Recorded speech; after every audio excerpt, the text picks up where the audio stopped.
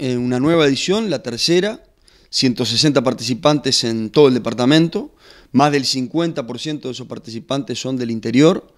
Vamos a tener participantes en Paso de los Toros, San Gregorio, Achar, Curtina, eh, Caraguatá, Ancina y bueno, y por supuesto la capital departamental. En una primera etapa van a estar trabajando por siete meses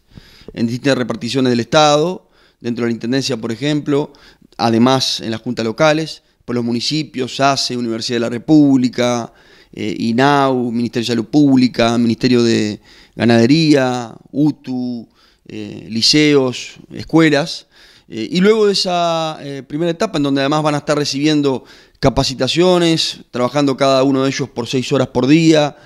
recibiendo lo correspondiente, es una prestación, pero lo correspondiente a un salario mínimo nacional, va a haber una segunda etapa de, en donde ya se trabaja más la inclusión laboral en el mercado laboral, es decir, en, empresas privadas, que son empresas madrinas, eh, es decir, que tienen un sello dado por el Estado por tomar estos participantes, pero a su vez también reciben la exoneración tributaria de los aportes patronales eh, correspondientes a ese trabajador. Pero primero lo primero, y es esta etapa de, siete meses que les va a significar indudablemente un, gran aprendizaje a todos los participantes. Eh, ¿Correcto? ¿Esperaban un número tan, tan alto? En realidad sí, porque ese número lo maneja el propio ministerio, es decir, el propio ministerio es el que establece el cupo, que en este caso ha ido creciendo de 140 en tres años a 160 en todo el departamento. Hay que recordar que el sistema no es por sorteo, no hay que anotarse en ningún lado, porque ha surgido alguna duda. Esto tiene que ver sobre todo porque está Jornales Solidarios que por sorteo, porque antes Uruguay trabaja dentro del MIDES era por sorteo, acá se cambió el sistema, es por postulación. ¿Qué significa? Que personas que ya están en la órbita del MIDES,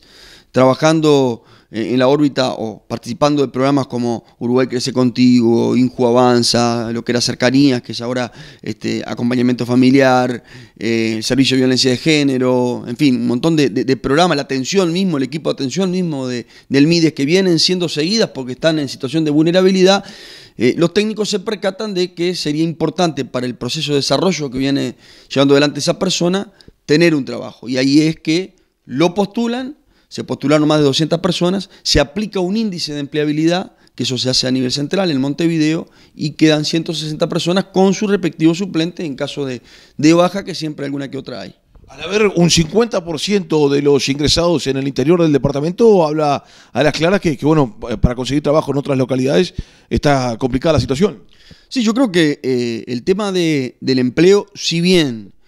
eh, la tasa de desempleo,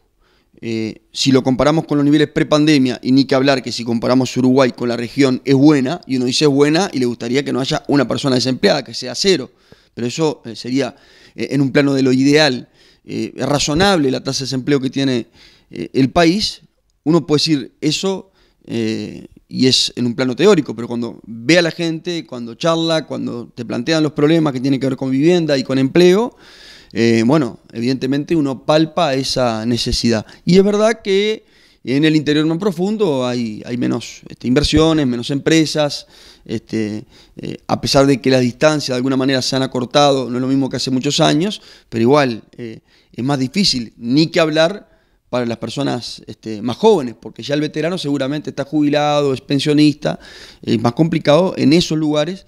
para las personas este, más jóvenes. Por eso creo que está bueno esto, que, tiene un componente descentralizador que permite llegar no solamente a la ciudad grande, Tahuarembó, Paso de los Toros, sino también a lugares más pequeños, como todo lo que es Caraguatá, porque este Caraguatá es un, conglomerado de, pueblos, está como núcleo central Las Toscas, eh, ni que hablar este, Achar, eh, eh, Ancina. Nuestro objetivo es también poder llegar, por ejemplo, en su momento a, Paso del Cerro. Esto se ha ido extendiendo porque no arrancamos en todos estos lugares que yo te mencioné. Bueno, eh, la, tarea de estos egresados al programa ya, ya la han comenzado. ¿Cuándo la estarían comenzando? Sí, ya comenzaron la primera semana de, este mes. Son distintas tareas, dependiendo de dónde se trabaje. Tenés desde auxiliares de servicio en escuelas hasta personas que están trabajando en la parte de limpieza de la intendencia o de recolección de, residuos, personas que incluso trabajaron en el Ministerio de Salud Pública con el tema del dengue, es decir, que hay diferentes tareas en función de la institución en la que estén participando. Y cambiando de tema con eh, lo complicado que está el clima, ya los eh, lugares que hay para eh, bueno estar brindándole atención a, la gente aquí en Tacuarembó por parte del MIDE se están utilizando. Sí, estamos al 50%, es decir, quiero decir que el 50% de los cupos que tenemos en los contenedores, es decir, en el centro de estadía transitorio del MIDES, eh, estar ocupados. De cualquier manera está todo bastante eh, coordinado, porque además tenemos un, doble tema. Por un lado las inundaciones, que tú bien lo planteabas, este, que bueno, eso significa que van a haber desplazados, eh, ya han habido algunos, o que pueden haber, esperemos que no, pero que puede haber alguno, alguno más. Eh, y después tenemos el frío que, que, está ahí, a la vuelta de la esquina. El 15 de mayo oficialmente arranca el plan invierno, pero de cualquier manera nosotros lo, hemos adelantado y estamos en permanente contacto con los distintos integrantes del comité de emergencia y seguramente en los próximos días habrá una reunión en ese sentido, es lo que hablábamos con el intendente hace un par de días de, reunirnos para ajustar siempre algún detalle, sin perjuicio de que el acumulado que hay en el comité de emergencia ya este, permite en, términos este, futbolísticos, Álvaro, eh, jugar un poco de memoria.